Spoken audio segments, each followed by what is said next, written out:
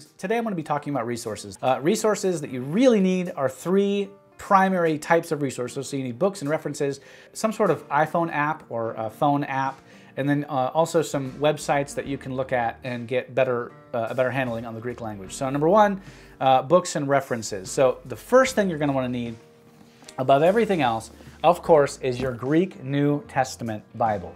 Uh, this in particular is a UBS Greek New Testament Reader's Edition with textual notes. I strongly recommend that you get the one with textual notes because uh, in it you're going to find that very thing. You're going to find textual notes that are going to help you understand more uh, efficiently what different words mean in their context of different passages. So that's going to be really, really helpful. In fact, um, as we go through, I'll give you a better understanding. So you have, you would have the, the words here, um, the scripture in Greek, and then just below that, these, you know, sort of these two sections here are, uh, are the Greek words and the Greek tenses, and, and it breaks it down and gives you the literal meaning of them and different things like that. It's really helpful. You really, you need this um, to get started on this uh, learning of the Greek language. The second thing uh, that you're going to need is uh, William D. Mounce's book called Basics of Biblical Greek Grammar. Basics of Biblical Greek Grammar. You need that. That's really, really helpful. In fact, we're going to be going through this book um, as our primary resource. We're going to pull from other resources as well as we go along, but this is going to be a really, really helpful resource. Um, just about, uh, I mean, so, so many seminaries uh, go through this book, and I'm trying to bring this th these concepts with the help of Bill Mounce to you uh, right now. So uh, you need that. Also, Strong's Exhaustive Concordance of the Bible by James Strong. I, I cannot recommend this enough. It's such a, a basic thing, uh, but a Strong's Concordance is really helpful. Some see it as, oh, that's just too baseline for me. I need something a lot more comprehensive. Well, you'd be surprised how helpful either a physical copy or an electronic copy of the Strong's Concordance would be. it, is a phenomenal resource.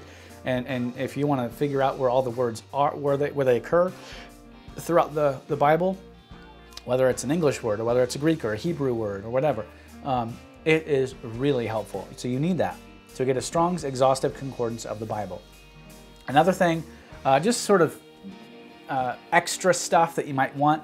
Um, I have a couple different things here. I have a bunch back here, but one is um, by John Eadie, and this is a commentary on the Greek text of Paul's letter to the, and you can have, I mean, he has all kinds of different books, but this one is to the Ephesians.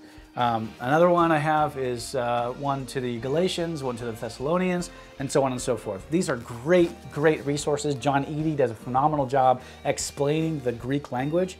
Um, so if you want to um, use something like this, um, whether it's to try to get a better grasp on the Greek language, um, or whether it's just you know, you need a, an extra resource for preaching or something like that. I, have used these for all kinds of reasons, for research papers, for uh, sermons, for all sorts of things. Um, they're really, really practical and helpful.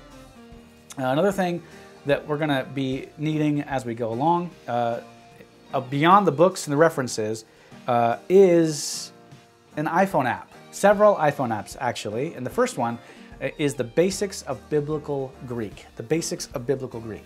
And these are basically just electronic flashcards by Bill Mounce. He uh, has provided them that go along with the curriculum from the book uh, Basics of Biblical Greek Grammar. It's a really, really good resource. I currently don't have it, but that's only because I have the physical copies of the cards already. So I don't really need the uh, electronic copy. It would be nice to have, but it's also $20. So um, you could get the $20 electronic copy or you could get the uh, more expensive print version like I did because I didn't know that the electronic version was out there until after I got them. So um, anyway, so that's really helpful as well. Uh, and then also you can get the Parse Greek app, P-A-R-S-E Greek, Parse Greek, and that's 10 bucks. Um, I have that on my phone and it gives you, it, it basically is a big giant thing of flashcards that gives you all kinds of uh, different tenses and it quizzes you and all those sorts of things. So it's really, really helpful, um, especially as you get more and more into the, the deeper concepts of the Greek language.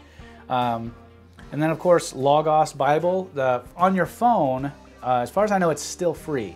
You can download Logos, that's L O G O S, Logos Bible. Uh, just look at it on your uh, App Store and you'll be able to find it. Uh, and just download that. It's got all kinds of, it's got a Greek New Testament in there. It's got all sorts of different resources that you can download. Uh, some for free, some that uh, cost a little bit of money. It's not a big deal. Whatever, whatever uh, floats your boat as far as that goes.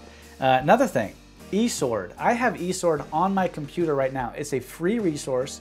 Uh, and I'll talk about where to go to get that in just a moment. But but eSword is, is um, a really good Bible study resource. And not only that, but uh, it has uh, breakdowns of the Greek language. Uh, it uses Strong's Concordance and Young's literal translation and a bunch of other different things. So it's really, really helpful. Also, uh, in addition to the books and references and the, the apps that you can get, there are also a bunch of websites. And these are just, I only have four here, but there are tons and tons of websites that you can look into as far as this goes. But number, number one, is biblicaltraining.org backslash biblical Greek. Or you could just peruse biblicaltraining.org and, and find out there are all kinds of different really, really neat articles and things that are really helpful for anyone, whether it's in seminary, you're in seminary or whether you're just in ministry of any kind. Um, or you just really have a, a fascination to learn more. You just have a hunger for learning. That's great. And if so, you are at the right place.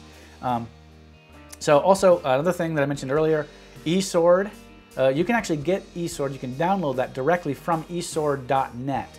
Um, so download that, it's free for your desktop. However, it costs $2.99 for your phone. Uh, I don't know why exactly that is, but what hey, that's it is what it is. And then of course, blueletterbible.org, uh, biblehub.com, just uh, these are just a few others uh, that you can also look into as well. So these are just a few resources that you can uh, look at and look into as we begin this process of learning the Greek language together. So thank you so much for watching and I look forward to seeing you in the next video. God bless.